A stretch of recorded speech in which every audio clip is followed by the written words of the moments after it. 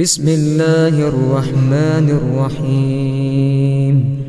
لا إله إلا الله وحده لا شريك له.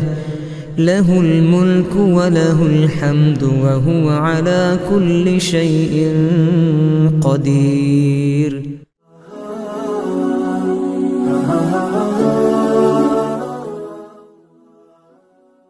Assalamu alaikum wa rahmatullahi wa barakatuh. Dear brothers and sisters, today we are going to talk about a powerful dua to remove jinn from body protection from jinnat. Before starting the video, please subscribe our channel and hit the bell icon to keep watching our videos.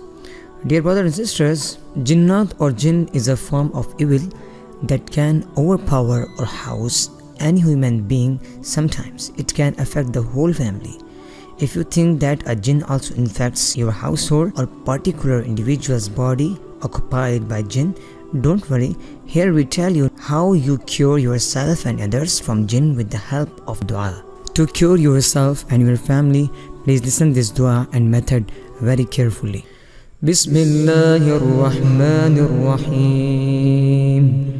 لا إله إلا الله وحده لا شريك له له الملك وله الحمد وهو على كل شيء قدير Now beloved brothers and sisters, let's talk about how to remove jinn from body. Point number 1. The first step is wudu. Point number 2. You should pray namaz 5 times a day. Point number 3. Read Ayatul Kursi 2 times a day. Point number 4. Recite Surah Falaq and Surah Nas to get protection from jinn.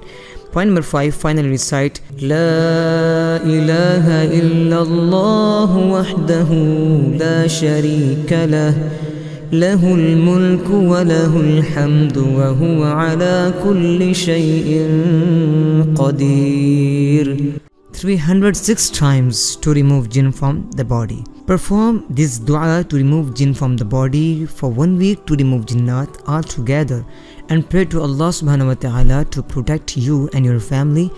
Do this for a month at least. Pray every day. If you suspect you are a victim of jinn or jinnat, you first need to make prayer a mandatory part of your lifestyle. Billah. For more details, please contact on our WhatsApp number. Thank you so much for watching this video. Jazakumullahu khair. Wa rahmatullah.